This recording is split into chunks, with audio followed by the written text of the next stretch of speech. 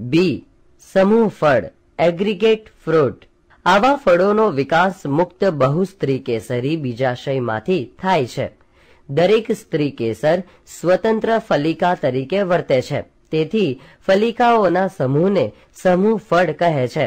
તે એક જ પુષ્પમાંથી વિકાસ પામે છે.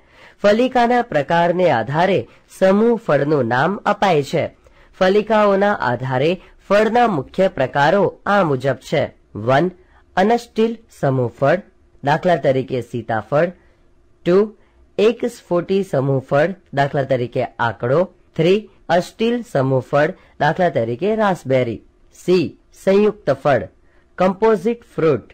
સંયુક્ત ફળનો વિકાસ સમગ્ર પુષ્પ વિન્યાસના બધા જ પુષ્પોમાંથી થાય છે. તે પુખ્તતાએ એક ફળનું નિર્માણ કરે છે. સંયુક્ત ફળના બે પ્રકાર છે, જેમ કે સરસાક્ષ અને ઉદુંબરક, સરસાક્ષ, સોરોસિસ.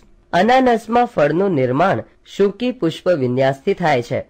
પુષ્પ સાથેના નિપત્રો અને પત્રાક્ષ સાથે જોડાઈ દળદાર સંયુક્ત ફળનું નિર્માણ કરે છે.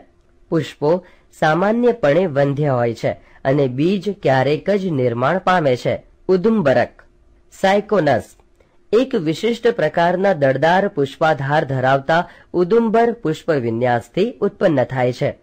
તે અસંખ્ય એકલિંગી પુષ્પો ધરાવે છે. પરિપક્વ થતો પુષ્પાધાર, દળદાર અને રસાળ બને છે અને ખાદ્ય ભાગનું નિર્માણ કરે છે. દાખલા તરીકે, વડનું ફળ.